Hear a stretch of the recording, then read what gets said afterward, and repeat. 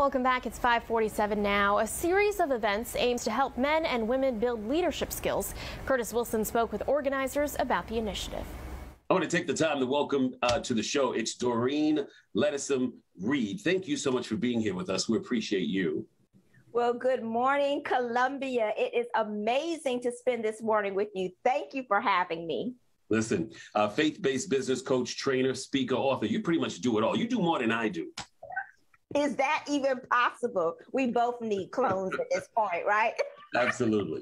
All right, so you have something pretty cool that's about to happen. Matter of fact, three things. And we're going to name all three, and you tell me about it. Uh, Share, Connect, and Grow event. It is the next generation entrepreneurship training. You're also doing the Leaders Rising and also the Confident Women Rise. So give it to me one by one.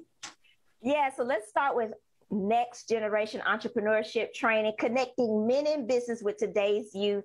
And you know, Mr. Curtis, I've been doing this a long time. I've actually started that in uh, 2008 when I started my business, and I'm a former educator. So I always want to give back to the next generation and inspire them in entrepreneurship, inspire them to pursue those career paths and also connecting them with you know to men in business such as yourself so that they can have that good role model in place in their lives and so that's going to be held virtually um, this June on the 17th.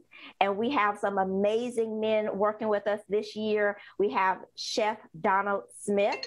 He is the he is the founder of uh, his organization is called Urban Chef, Chef Alliance. Okay. So that's Donald Smith. He's Urban Chef Alliance. We also have speaker sponsor Conwin J. Millett. He is the broker in charge of Exit Real Estate Agency, as well as Mark Calhoun Care South here in the PD. So all of these gentlemen are going to be participating and pouring into our young people and inspire them for entrepreneurship. All right. What about the Leaders Rising? Leaders Rising, the Confident Woman World Tour.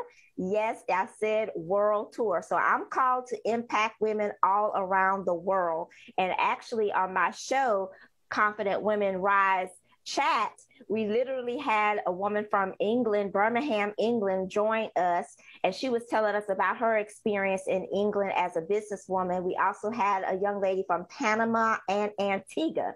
So, yes, we are going around the world talking to women about their perspective in business and how that relates to us as a confident woman, because you're going to have to have confidence to do what we do, Mr. Curtis. And literally, it is the opportunity for women to arise and shine for such a time as this. So I'm very excited about that.